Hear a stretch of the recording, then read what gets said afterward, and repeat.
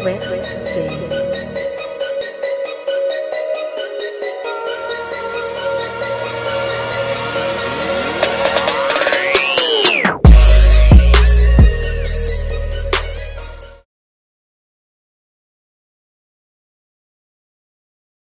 Alright, what's up guys? So I'm giving you guys an update. This is gonna be a quick short video because I'm still kinda like mentally dealing with it. But my doctor's appointment was yesterday.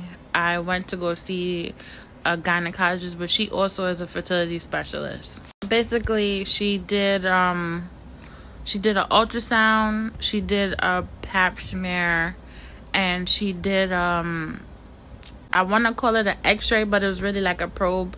It's almost like an ultrasound, but they stick the probe inside of you to see how your womb is, if you if everything is healthy and stuff like that. So that's what was done. Now, let me put this first. It's very hard to find a fertility specialist that takes certain types of insurance. Now, I've been searching for a fertility specialist for like the last, I want to say, four months. So I had my lumpectomy in February and I did my radiation in June. And I was supposed to start my fertility treatments from June. And we're now in the month of August. So, with that being said, here's a disclaimer the hospital does have a fertility specialist, but because they didn't take my insurance, I would have had to pay something like a $5,800 out of pocket expense in order to harvest my eggs and for them to freeze it and for them to hold it while I take my chemotherapy medication. So, because of that, I had to find outside sources. So, I found an outside source. I found multiple sources, but a lot of them wasn't available, and a lot of them were saying that they wouldn't take my insurance, which is ridiculous because I have great insurance, but for whatever reason, a lot of them wasn't taking my insurance. So, I finally found one, and I got it done yesterday. So, you guys are ready for the gut punch that I got yesterday? That are you ready for this information? All right so boom.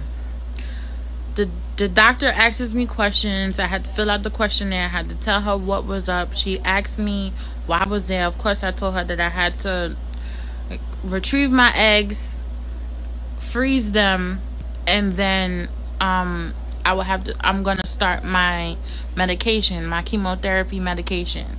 So for those who went through breast cancer like i did and had a lumpectomy, mastectomy, double mastectomy, double lumpectomy, whatever you did, this is going to be, if you're of childbearing age, you have to do this if you want to have kids. If you don't want to have kids, you really don't have to worry about it. So here's the theory the theory is if you have breast cancer, it could be connected to cervical cancer or cervical issues. That's what I read. And I'm a research buff, so I really be looking up things and trying to, you know, see what's in store for me, what I need to look out for, what I need to be aware of. Like, if you tell me something, I'll nine times out of ten, I'm gonna look it up and research it. So that's just a disclaimer. But, anyways, so we get to the probing part where she's looking at the at my uterus. So she's looking at my uterus and she tells me that both my ovaries are full. I have a lot of eggs in both ovaries. So, being that both my ovaries are full, she asked me, Do I get cramps? Now, I've never experienced cramps until after my radiation treatment was done and I got my first cycle. Once I got my first cycle after radiation, I've experienced ridiculous cramps. And when I say ridiculous cramps, to the point where it feels like my ovaries are gonna pop on both sides. So, I don't know if that's a symptom. I don't know if that's a reaction. Because I've never experienced cramps when I have my period. Never. So for that to be happening now, I'm assuming that it's just an after effect or a symptom. I, I don't know. So here's the kicker now. So she's looking further and she says that I have follicles in my uterus. So I'm like, what does that mean? So she's like, well, that's signs that you have PCOS. Now, I've heard what PCOS is, which is polycystic ovarian syndrome. I've heard of that, and I've heard of that's the reason why a lot of women cannot or it's hard for them to get pregnant. So, once she said that now, uh, I want to say that I just blacked out because it's like I see her mouth moving, but I don't hear her talking. So that's like me in my head, like, oh my God, now I have to deal with this now. Now I just had a lumpectomy. I caught the cancer early. Now I have PCOS to deal with. But then again, I was in my head because I've heard that I might have PCOS before. And this was when I got into my first accident when I got in when I had to get my hip done. So here's a little backstory. I've never had regular periods until I had to take birth control as a teenager to regulate my periods. And before I was on birth control, I would see my period probably like every other month or um once every 2 to 3 months. And then when I would get it, I would have it for a long for a very long time, maybe the longest I remember having my period was 21 days, which is obscene. You're only supposed to have the, your period the most is seven to maybe eight, nine days. That's kind of normal. But I used to have my periods for long periods of time. So my gynecologist at the time that prescribed me the birth control, she would tell me that you might have this new syndrome that's out called PCOS.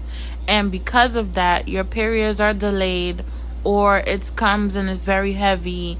You might have um issues with um getting pregnant. Now, at the time when she told me this, I must have been maybe around, I want to say 18, 19. And then after that, she would tell me that when she would test me, she's like, oh, your testosterone levels are always high and your estrogen level will be either at the margin or a little bit below where it should be. So, with that being said, I've always had in the back of my mind that I had like a hormonal imbalance. And you could tell from my body that I had a hormonal imbalance. Like my breasts were never round. Um I still had like I was still stuck in the phase between prepubescent and adulthood. Like I've never shaped out in certain areas like you know, once you get your cycle, that's your time where you go from pre-pubescent or pubescent, if I'm saying that right, and into adulthood. That's the time where your body matures into how it's going to look as an adult. So here we are with that in the back of my mind. Now, at 20, 21, I was in a seriously committed relationship and we were talking about conceiving a child and we also was trying to conceive a child.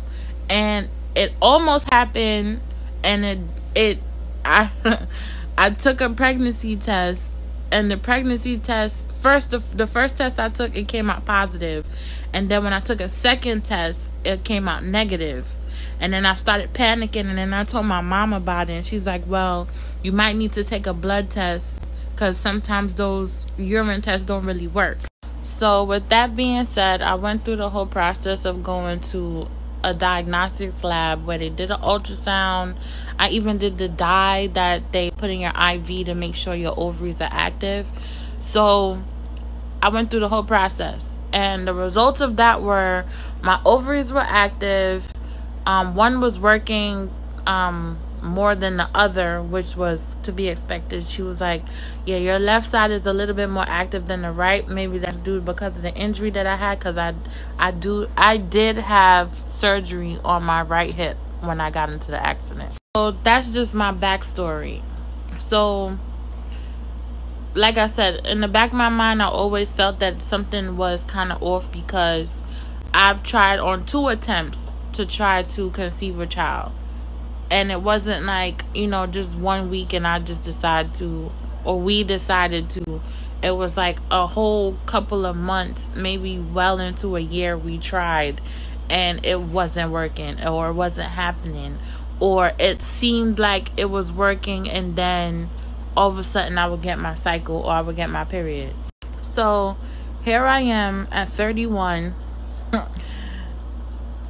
I've, like I said, I had different plans for my life right now at this stage and at this age. I really wasn't banking on like oh, I'm 30 and I want to do this because I'm 30 and blah blah blah.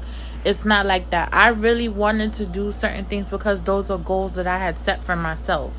I wanted to be in a position where I was physically healthy and financially ready and able to start my own family at the point of my life right now where I'm at.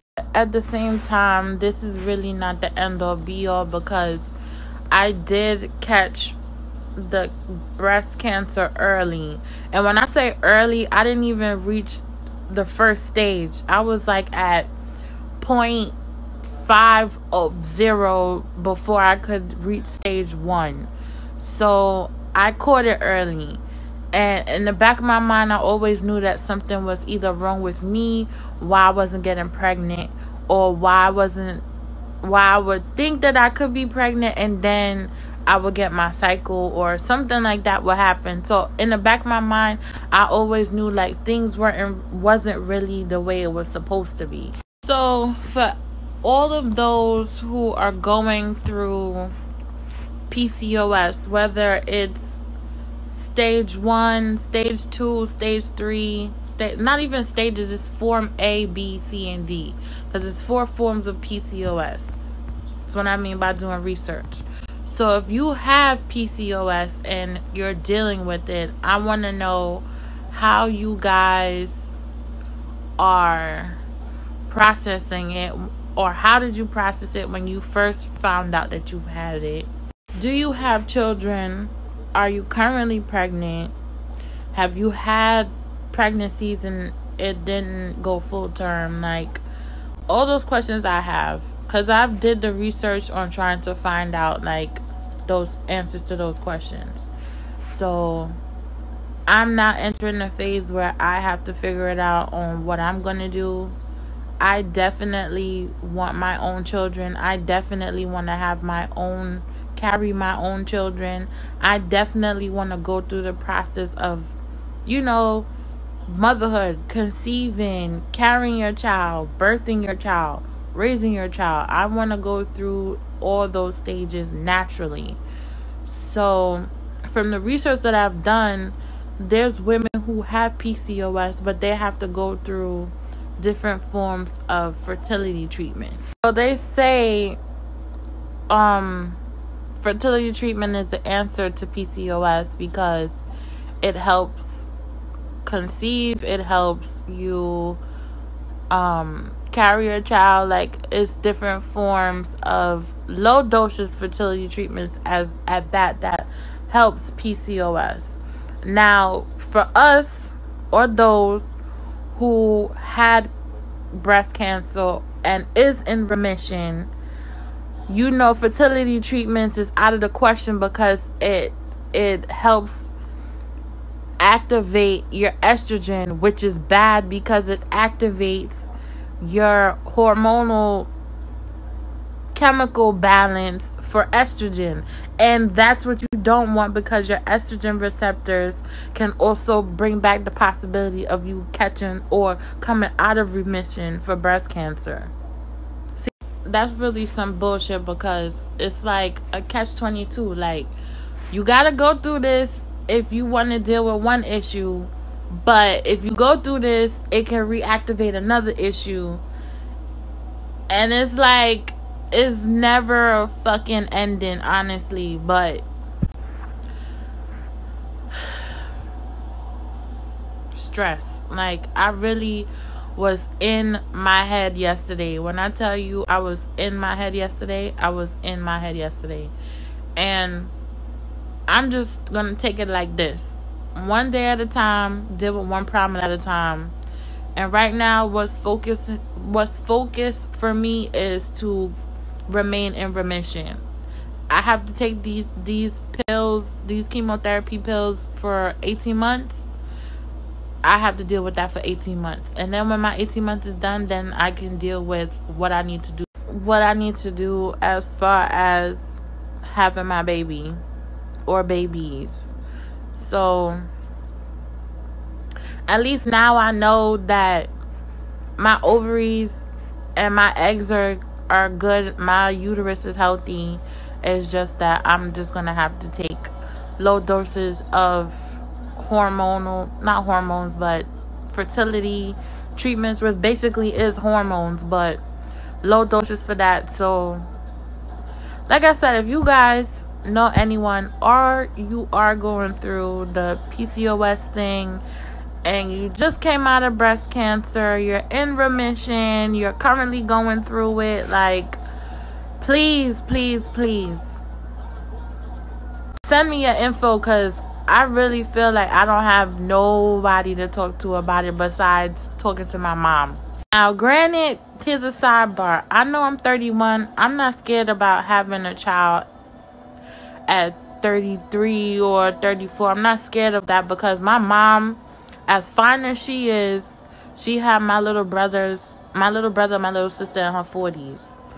I mean, I'm a 20 I'm 20 years ahead of my sister and I'm 23 years ahead of my brother. So I'm not afraid of age and then there's a lot of women in my family who had children late at a very late age if you would consider a late age, but I'm not afraid of that. I just like I said, I would like to form a PCOS group, which maybe I should start on Facebook and women who went through a lumpectomy. I mean, the hospital that I go to, they offer those things, but they're not like me.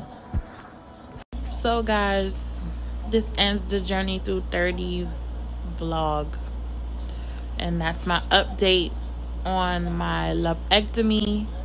I have my post op radiation checkup next week in September and I have to see my oncologist the day after that so I can start my chemotherapy medication. So you guys won't see one another video like this probably for another week and a half. But I'll keep you guys updated like I've been doing and I'll catch you guys in my next one.